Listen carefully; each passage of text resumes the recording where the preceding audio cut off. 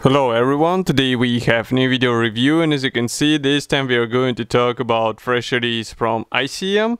It's a kit in 135 scale and it copies Model T fire truck from 1914, it's American car obviously and we have a commercial sample of this I would say rather unusual vehicle in this scale and we are going to open it in this video review, check what is included in this nice box and of course decide whether it's uh, suitable kit for beginners or maybe it's a more of a project for professional modelers.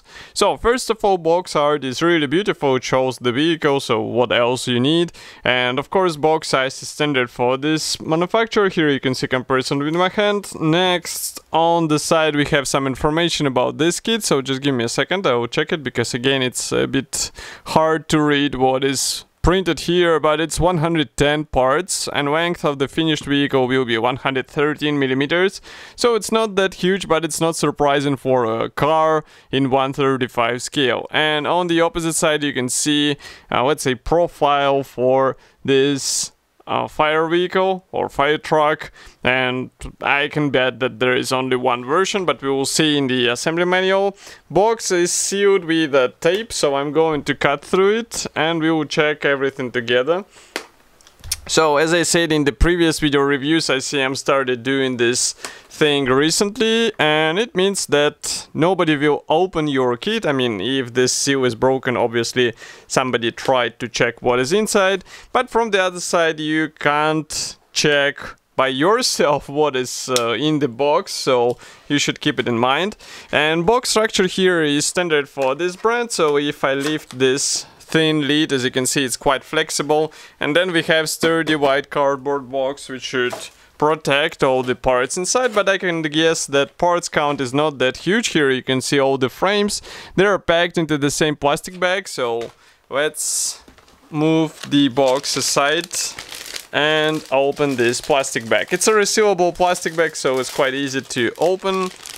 And now Okay, so what do we have here? First of all, I would like to start with this plastic bag for the clear sprue. So I'm going to open it right now.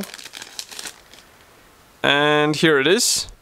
Molding quality is really good, so I didn't see any creases or any other possible molding damage, but you need masks for this, so be ready.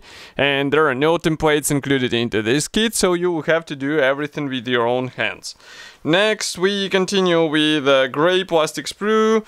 This one is, let's say, the smallest one out of two, but here we have mix of various parts, so you can see wheels in the center. We also have bonnet and radiator grille, and what is next? So here we have wheel axles we have fuel tank uh, some parts for the gearbox and engine but i suggest we zoom in as much as we can so that we can check all these parts closer. Just give me a second to wipe off the dust. I'm not sure where it comes from. So here it is. So First of all, it is good to see plastic wheels, even though they're molded as a single piece parts together with the wheel rims, still it's better than vinyl tires and I think it will be, um, let's say, warranty of a good look of your vehicle in the finished state. Here we continue with exhaust and again molding quality is really fine, attachment points are thin enough in order to be, um, let's say, easily separated of the sprue. Of course, you have to be careful with thin parts, but it's not such a huge issue. And here you can see some of the tools and gearbox part. By the way, if I flip it over here, you can check them from the opposite side. So, as I said, oh no flash or other damage whatsoever. Okay, so next we continue with uh, bigger plastic sprues. So this one is dedicated to mix of various parts. Here we have vehicle floor panel. We also have some parts for external, let's say, uh, details. We even have, as you can see, various uh, external elements for the seats.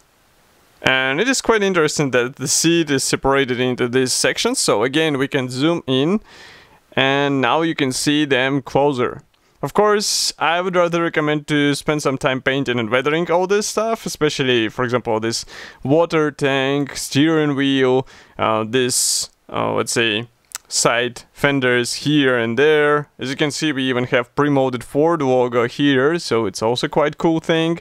Next, we continue with more parts for the water tank. Here we have radiator grill again. Ford logo is pre-molded, so it would be a, a good thing to use a dry brush method in order to bring out these small details. And definitely it would look even better.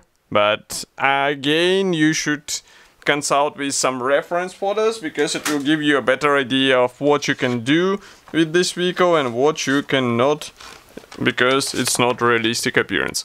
Next we continue with assembly manual. So this one is printed in form of uh, cover printed brochure. So I'm going to close the camera so that you won't be blinded. And you can notice that on the first page we have short history note, technical specifications and covers chart and also science legend and address of the manufacturer. And on the next page we continue with the parts map. Red shows that these parts will not be used obviously. So as you can see there are plenty of unused parts, which is I would say rather surprising for ICM.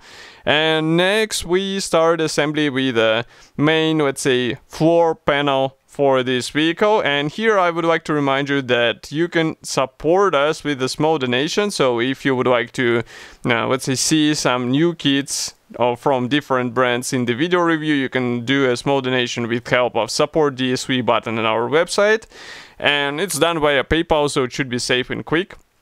Next, here we continue by installing this front grille uh, we assemble the engine and this is really surprising that they decided to include the engine so it might be worth opening one of the bonnet panels in order to expose it on the finished model.